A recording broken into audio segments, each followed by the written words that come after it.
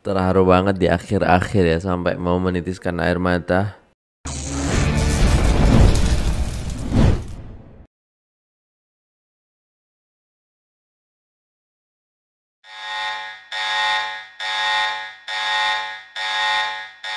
Assalamualaikum warahmatullahi wabarakatuh. Jumpa lagi dengan saya guys. Cak Muncip Gimana kabar teman-teman semua? Semoga senantiasa dalam lindungan Allah subhanahu wa ta'ala.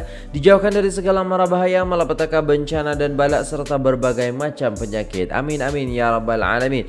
Oke di sini ada sebuah requestan daripada kawan-kawan sekalian Daripada Ustadz Ebit Liu Ya di sini dari channel Khalifah untuk semua official. So, jom kita tengok guys videonya. Saya sudah penasaran apa yang akan disampaikan oleh Ustadz Ebit Liu ini.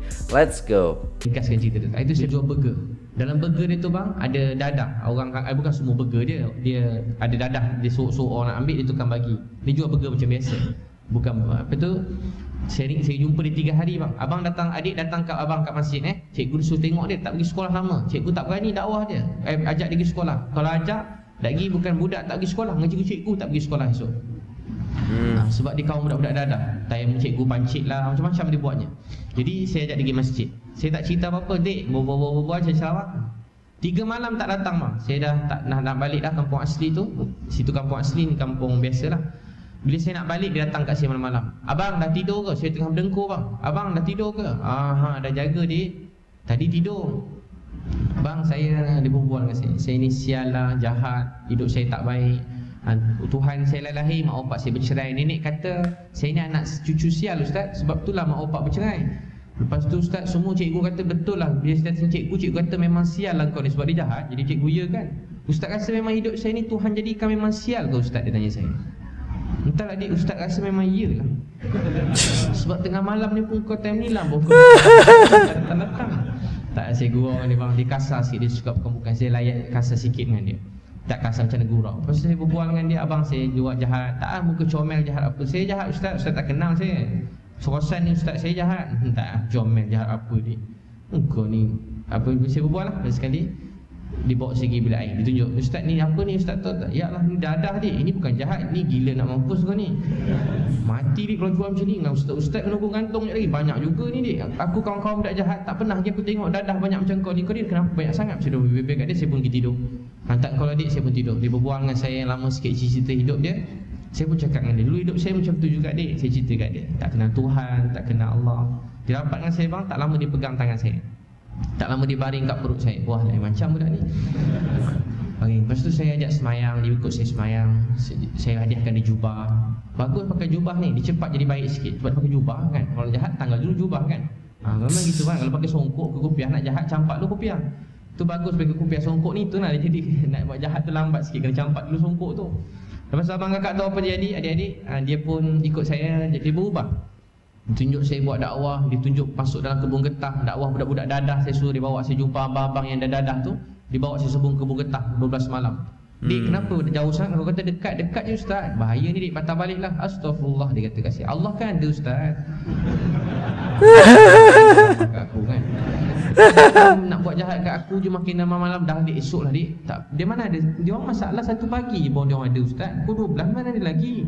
Saya selalu macam tu lah dah tak larat juga bang kalau KL sama jugalah. Kalau nak jumpa orang teruk-teruk ah, pukul 3 pagi tu ha, tu memang sah lah. Itu memang sedap lah berceramah bang. 3 pagi kat KL ha, semua tengah keluar kelab. Tunggu di depan kelab tu bang Ceramah dia orang nangis semua. Tengah mabuk tu kalau kena dengar ceramah Nangis semua sekali bang Iya Yang tiga pagi. Sebab apa? Dalam kelab tu tak bahagia. Sakit jiwa bang. Dia ingat masuk kelab Dia bahagia. Dah habis penat dia buat jahat bang. Keluar-keluar tak bahagia. Betul Tiba betul. dia Allah sayang kau awak. Nangis dia bang. Dengar Allah sayang Dia nangis dah. Sebab dia rindu nak dengar nama Allah tu bahagia bang. Orang dah lama tak dengar macam gelap gelita. Tiba nampak cahaya Nampak cahaya tu terkejut dia bang. Dengar Allah je dah menangis dah Allah sayang senang je ceramah malam-malam bang. Tanya apa pun jawab Allah sayang je. Susah tak nak ceramah malam-malam? Ustaz saya jahat minum arak, main judi, main perempuan begini begini begini, begini ustaz. Allah maafkan saya tak ustaz? Saya jahat dia, dia benci kat saya. Taklah dia Allah sayang kau. Awak. Saya jawab Allah sayang je. Senang tak ceramah saya bang? Senang kan? Satu dah malam ngantuk bang nak jawab apa lagi Allah sayang je. Dengar juga orang cerita main panjang sangat situ terang. Taklah agak dengar bang, dengar panjang cerita tahu benda dah masalah hidup dia ni. Tapi dengar Allah sayang dia nangis bang. Allah yang buat bukan kita bang. Lepas tu berbual-bual apa jadi kat budak tadi? Saya ringkaskan nak balik KL dia peluk saya. Abang. Dia mak ayah bercerai Dia tak pernah jumpa mak ayah Tinggal dengan nenek dia Dia peluk saya ha, Abang nak ikut abang balik KL Ish, Tak boleh dia Jumpa nenek dia Makcik ni cucu makcik kata nak masuk madrasah Kat sini dia kata dia kawan budak dadah Dia tak boleh tinggal hmm. semua tu Dan saya bawa dia pergi KL lah Saya bawa dia tempat jauh sikit Boleh makcik Eh tak payahlah ustaz Cucu makcik ni jahat. Eh tak adalah budak baik je. Ustaz tak kenal dia Ustaz baru kenal 2-3 hari. Depan ustaz baik dia ni jahat ustaz. Semua orang Eh tak payahlah ustaz jahat. Tak adalah makcik dia banyak berkawan dengan setan, setan lah dia. Nanti kalau dia banyak duduk majlis ilmu, malaikat banyak setan tu semua lari. Bukan ustaz, dia ni lah setan sebenarnya. Ustaz tak payahlah sesalahkan orang lain ustaz. Memang dia ni setan, saya nak menyedakkan hati mak dia kan Bukan salah kau orang, menyedakkan hati nenek dia. Sedia lah setan ustaz. InsyaAllah makcik, setan dulu-dulu pun ada yang baik, ada yang jahat dulu kan.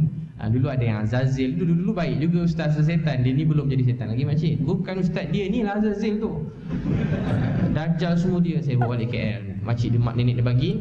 Sampai KL Makcik tak ada duit ni tak apa Makcik jangan risau Makcik. Ada lah ni dekat ni saya bawa pergi KL Hantar kat madrasah. Kawan saya jaga dia. Ustaz ni kena bayar lebih sikit Ustaz. Sebab macam Jaga dia macam 10 orang Ustaz. Ustaz kena bayar 10 orang juga. Ha, Boleh bang. Janganlah 10, 5 orang boleh lah. Ha, Okey okey. Macam tu okey Ustaz. Memang dia teruk bang. Dia punya kerosakan tu banyak tau. Macam-macam. Oh pak rumah Ustaz Macam-macam. Jadi Ustaz pun dah pening lah. Rasa macam nak humban je budak tu. Memang degil Manjat rumah ustaz ni bergaduh, bertumbuk, pecah barang Mengamuk, sepak ni, kursi, meja, tendang. Budak jenis pandang barang Kecil lagi. Saya pun bawa dia pergi ha, Lepas lama sikit saya tak tengok-tengok dia bang. Ustaz tu kata biar, serah kat dia je. Saya pun biar dah setahun bang Saya pergi jumpa dia, budak tu peluk saya. Ustaz. Ha, Dia nangis peluk saya. Kenapa lama tak tengok saya? Ustaz saya dah hafal 10 juz Quran. Dia baca Quran kat saya Allah dia baca. Saya pun nangis. Sebab saya pun tak pandai baca Quran macam tu. Saya dengar sedih uh, Ustaz, kenapa ya Tuhan buat hidup saya tak ada mak, tak ada ayah, tak ada abang, tak ada kakak, tak ada adik Tak ada siapa-siapa dalam hidup saya, ada nenek je. Nenek saya pun benci kat saya Dia bukan benci kat kau, dia sayang kat kau. Ustaz, kenapa Ustaz benci juga kat saya? Ya? Dah setahun Ustaz tak tengok saya.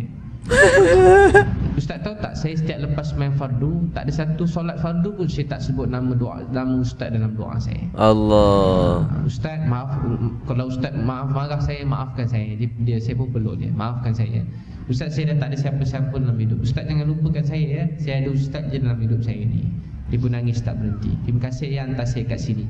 Abang tahu tak apa perkataan yang paling saya sedih Bila dengar budak-budak jahat dia cakap apa? Ustaz terima kasih yang hantar saya kat sini.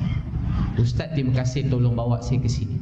Ustaz Allah. saya tak pernah berhenti doakan Ustaz. Itu yang paling saya rasa sedih. Tahu sebab apa? Saya pun dah tak doakan dia dah. Saya pun dah tak doakan dia. Terharu banget di akhir-akhir ya Sampai mau menitiskan air mata. Karena memang Apa ya Kebaikan seseorang itu pasti akan Tercatat dan akan selalu diingat oleh orang-orang yang Iya yang membuat dia itu berubah macam tu. Dan membuat dia itu mengenal Allah Subhanahu wa taala. Dan saya sangat terharu apabila dia Ustaz saya dah hafal 10 juz. Saya tak pernah tinggalkan doa nama Ustaz Setiap solat fardu Itulah yang membuat saya macam terharu sangat. Dan menetiskan air mata tadi. Tapi karena videonya ada bersambung Dah. Allahu Akbar. La hawla wa la quwata illa billahil aliyil azim. Ini memang Budak yang memang uh, nakal sangat. Bukan nakal sangat lah Gila lah. Memang setan dah. Tapi boleh berubah menjadi Seseorang yang baik dan menghafal Al-Quran. Allahu Akbar dan semoga kita termasuk orang-orang yang senantiasa cinta kepada Al-Quran dan senantiasa juga mengajak orang lain untuk senantiasa berbuat kebaikan. Dan apa ya kayak kita itu ya susah juga sih. Kadang kitanya aja belum baik. Tapi insya Allah kalau kita akan berusaha kalau kita senantiasa berusaha menjadi baik maka insya Allah Allah akan tunjukkan jalan untuk kita. Dan apabila kita juga mengajak orang lain untuk berbuat baik maka insya Allah kebaikan-kebaikan orang lain itu akan kembali juga kepada kita. Oke okay guys mungkin itu saja video kali ini. Sangat-sangat bagus sekali ini guys ceritanya. Dan ya dapat kita ambil kesimpulan bahwasannya setiap orang yang berniat baik maka di situ pasti Allah Subhanahu wa taala menuntunnya kepada kebaikan. Terima kasih sudah tengok video ini sampai selesai guys. Ya, di akhir agak-agak slow gitu karena dalam banget sih cerita ini tuh kayak nyampe banget gitu Allahu Akbar Oke, terima kasih sudah tengok video ini guys. Jangan lupa untuk like, share, komen, dan subscribe channel saya dan Khalifah untuk semua official. Dan sampai jumpa di video selanjutnya. Apabila ada salah kata, mohon dimaafkan. Wassalamualaikum warahmatullahi wabarakatuh.